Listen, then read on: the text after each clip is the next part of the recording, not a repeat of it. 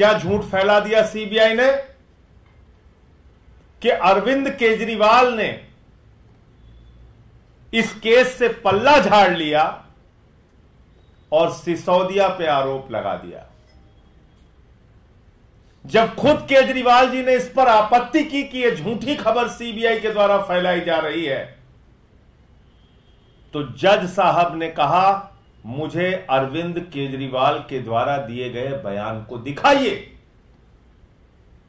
और जब वो बयान देखा गया तो जज महोदय ने खुद कहा कि सीबीआई के लोग गलत बोल रहे हैं, अरविंद केजरीवाल ने ऐसा कोई बयान नहीं दिया।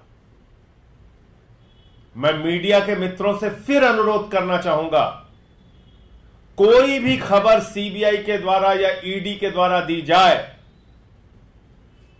यह हमारे खिलाफ दुर्भावना से काम कर रहे हैं। यह हमारे खिलाफ एक राजनीतिक साजिश के तहत काम कर रहे हैं। बीजेपी सरकार के इशारे पर काम कर रहे हैं। सीबीआई गिरफ़्तार करने कब पहुँचती है, ये आप लोगों को और देश के लोगों को सोचना बहुत ज़रूरी है। कैसे काम कर रही है देश की मोदी सरकार?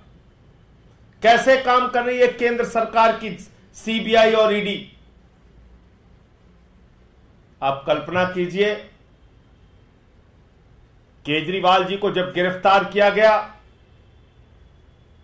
उसी दिन इलेक्टोरल बॉन्ड का मामला सामने आया था। साठ करोड़ रुपए की रिश्वत शरद चंद्र रेड्डी ने भारतीय जनता पार्टी को दी है, इसका खुलासा हुआ था और उसी दिन केजरीवाल जी को गिरफ़्तार कर लिया गया था।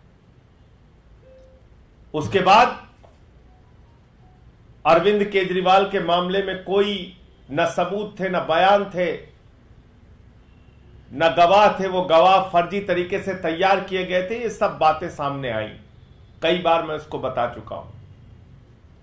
सुप्रीम कोर्ट ने उनको इंटरिम बेल दिया, अंतरिम जमानत दिया, और उस जमानत में स्पष्ट रूप से सुप्रीम कोर्ट ने लिखा, अरविंद केजरीवाल से समाज को कोई खतरा नहीं है अरविंद केजरीवाल कोई हैबिचुअल ऑफेंडर नहीं है। अरविंद केजरीवाल का कोई क्रिमिनल रिकॉर्ड नहीं है। और इसके आधार पर उनको एंट्री मिली। फिर दोबारा वो न्यायालय के आदेश का सम्मान करते हुए जेल चले गए। जब ट्रायल कोर्ट ने उनको जमानत दे दी सारे नियम, कानून, सब कुछ ताक पे रख के, बगैर आदेश की कॉपी के, मोदी सरकार की ईडी ने हाई कोर्ट में जाकर, स्टे ले लिया। जमानत पे स्टे ले लिया। और ईडी के न्यायालय ने जो आदेश दिया है, उसको एक एक व्यक्ति को पढ़ना चाहिए। क्या लिखा है ईडी की ट्रायल कोर्ट ने? क्या लिखा है ईडी के न्यायालय ने?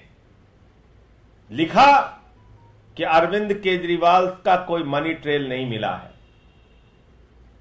लिखा कि गोवा में पैसे का इस्तेमाल हुआ, इसका कोई प्रमाण नहीं है। ट्रायल कोर्ट ने अपने जमानत के आदेश में साफ़ तौर पे लिखा कि ईडी फेयर और प्रम्प तरीके से काम नहीं कर रही है।